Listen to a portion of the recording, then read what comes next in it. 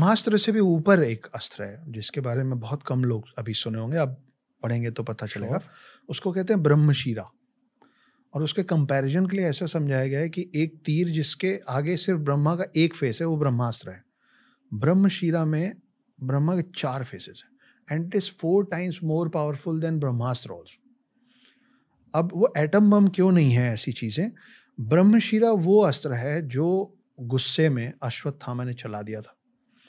और कृष्ण के रोकने पे उसको अभिमन्यु की जो वाइफ थी जो कि उस समय तक विधवा हो चुकी थी विडो थी उनके वूम्ब में हम्म। उनके पेट के अंदर उसको उतार दिया गया था। तो वो एटम बॉम्ब जैसी चीज़ नहीं हो सकती है अगर आप एंशियंट स्क्रिप्चर्स की बात करेंगे।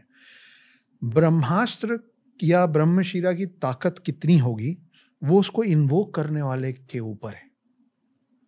ये उस उस अस्त्र की ताकत आपकी ताकत पे निर्भर करता है। आप कितने पायस हैं और आप उसको कितने कितने स्ट्रांगली इन्वोक कर रहे हैं। आपका